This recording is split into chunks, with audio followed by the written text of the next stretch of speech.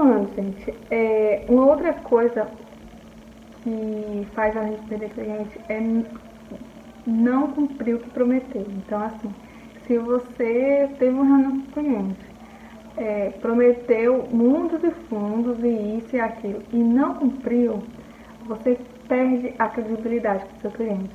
Se você prometeu e tem uma justificativa plausível, por exemplo, ah, olha, o prazo estipulado para me entregar um balanço. Você consegue entregar um balanço em 30 dias? Daqui a...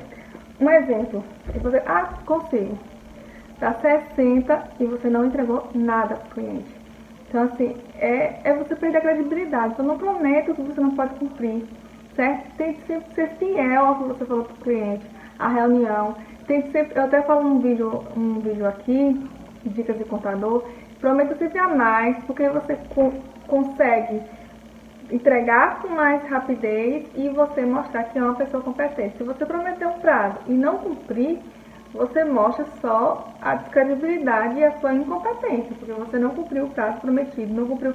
E não é prazo não, é, é ações, são, são comportamento. Não, a partir de agora o nosso.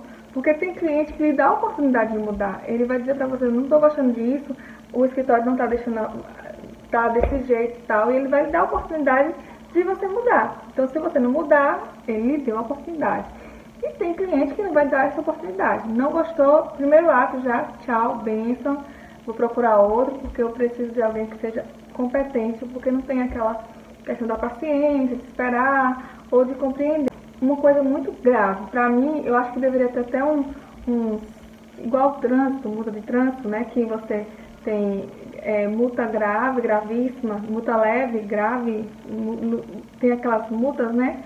Grave, gravíssima, e a quantidade de pontos, eu acho que tem algumas coisas que você comete no escritório de contabilidade, você comete como contador que deveria ser gravíssima.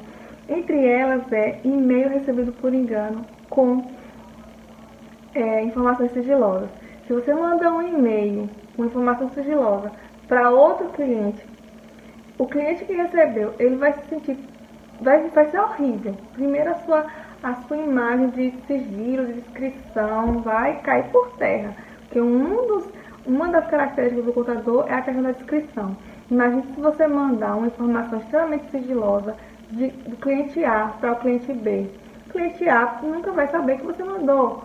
Mas o cliente B, ele vai ficar extremamente desacreditado em você, porque ele vai entender que se você não tem o cuidado nem de olhar direito o e-mail que você estava enviando uma informação de tão, tanta importância, como é que você não vai ter o mesmo cuidado também com as coisas dele.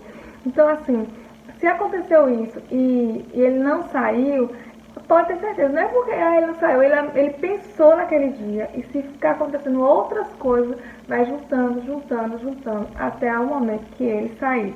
Então, essas são, são as dicas de hoje, espero que vocês gostem é, é para você evitar que vocês cometam os mesmos erros, tá bom?